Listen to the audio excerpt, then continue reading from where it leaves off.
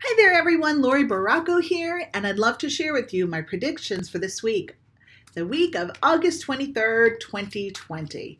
And I am using my Gilded Royale Tarot this week by Ciro Marchetti. Alrighty, let's see what we've got here for the collective. And some weeks the collective message may resonate, and some weeks it may not. Hopefully, this week there's some tidbits that Spirit brings through that will resonate for you. Okay, so it looks like the message has to do with abundance. And we know this as true, but but we don't always believe it, right? It's like we know it's true, but do we really sometimes we don't quite feel comfortable in that truth. The when we're feeling philosophical, when we're in our high states of higher consciousness, we know that money isn't everything. Yet if you follow your passion, the abundance will follow. If you follow your passion, if you're doing what you love, that your financial needs needs will be taken care of eventually, as long as you're proactive, as long as you're um, uh, strategizing, uh, mapping things out, being uh, mature and adult it all will work out, right? So a lot of times we have these financial goals as that's my goal, that's the end point, that's the main thing I want to focus on. But what if we shifted gears a little and we we had our passions and our and our goals and our interests and what we um, w- what we stand up for as our goal then that will help us be in alignment and will raise our consciousness to be in alignment with those financial needs and goals, those achievements. So, this week may not be the week to focus on the big money, right? So we have the 10 of Pentacles reversed. So this week, Spirit says, let's put those money goals to the side for this week, okay? And let's focus on what you love. What do you really love? And what are you passionate about? And what are you really good at? And then we're going to temper those goals.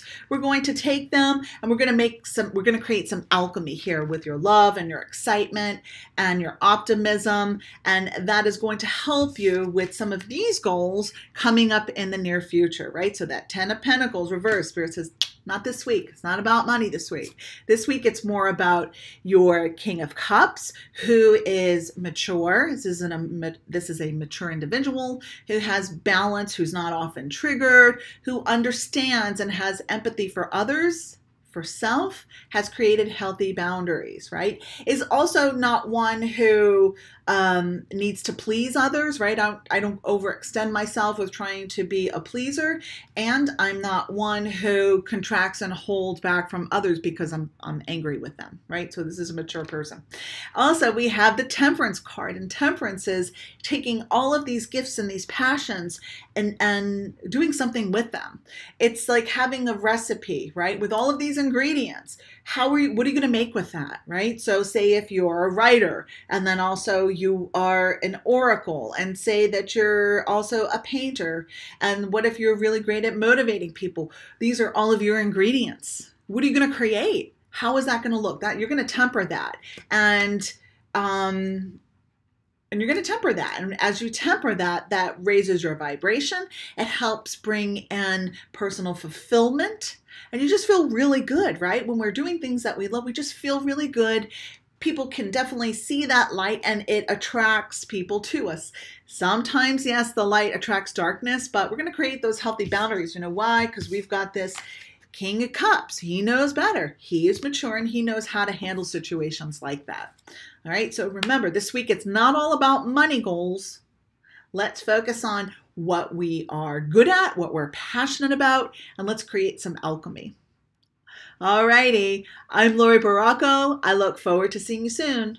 Namaste.